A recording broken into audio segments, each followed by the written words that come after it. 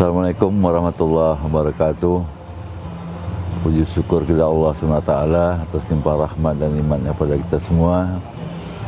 Di usia yang senja ini, saya masih bisa memberikan suatu uh, semacam pengarahan pada generasi-generasi muda, terutama yang sangat peduli dengan kondisi lingkungan di negara kita ini, bahkan dunia, khusus di Kabupaten Siak sendiri.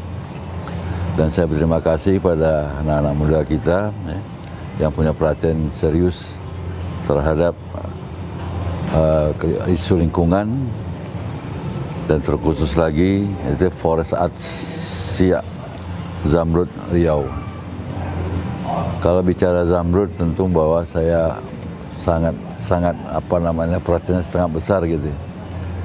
Karena Zamrud ini memang dari awal pada waktu saya masih memimpin dulu menjadi Bupati Siak itu saya sudah sangat memperhatikan sekali soal Zamrud ini bahkan untuk uh, pengembangannya sehingga pada waktu Bapak Presiden Yudhoyono itu saya mengusulkan kepada beliau waktu itu untuk menjadikan taman nasional. Artinya bahwa supaya ini bisa dinikmati juga sampai aspek lingkungan juga dari aspek wisatanya dan pada saat ini saya mendapat uh, suatu penghargaan dari generasi-generasi muda kita ini itu tentang perhatian mereka untuk uh, menimbulkan rasa bangga terhadap generasi berikutnya terhadap keberadaan daripada dalam Zamrud ini. Terkhusus orang Siak kita harus bangga bahwa kita punya satu taman nasional yang vegetasi hutannya masih sangat murni dan diikuti dengan uh, danau yang sangat alami gitu. Sehingga di dalamnya masih banyak terdapat hewan-hewan yang masih langka dan terpelihara dengan baik.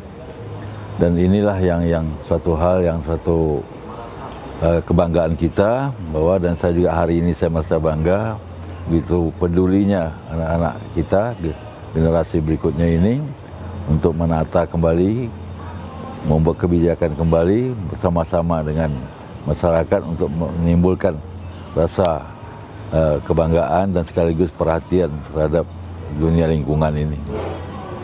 Dan tentunya pada saat ini ya kita merasa tidak semua orang itu yang punya perhatian khusus ya terhadap masalah lingkungan.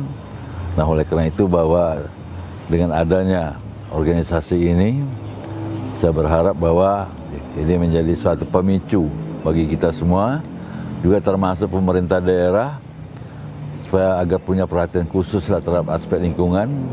Karena sekarang ini kita lihat banyak yang terjadi bencana-bencana alam, itu tidak lain daripada ada kerusakan-kerusakan daripada lingkungan. Begitu juga di Kabupaten Siak, bahwa kita juga melihat banyak hutan-hutan yang sudah ditebang dan sebagainya. Namun Alhamdulillah dalam Zamrud ini sekitar ada sekitar 30 ribu hektar itu masih ada hutannya dengan dengan baik, terpelihara dengan baik. Dan ditambah dengan hutan-hutan kota yang ada di Kabupaten Siak yang sampai hari ini masih lestari kita pelihara dengan baik. Dan terima kasih pada Pemda Siak dan Pemda Riau kita harapkan bahwa keikutsertaannya dan mensupport kegiatan generasi muda ini terhadap aspek lingkungan ini ya kita bersama-sama dan generasi kita akan datang bisa menikmati alam lingkungan yang asri. Saya kira eh, terakhir sekali lagi saya himbauan saya kepada seluruh elemen mari kita ikut serta berpartisipasi aktif dalam eh, melestarikan lingkungan di Kabupaten Siak khususnya dan Riau pada umumnya. Saya kira demikian. Bila taufiq wal Wassalamualaikum warahmatullahi wabarakatuh.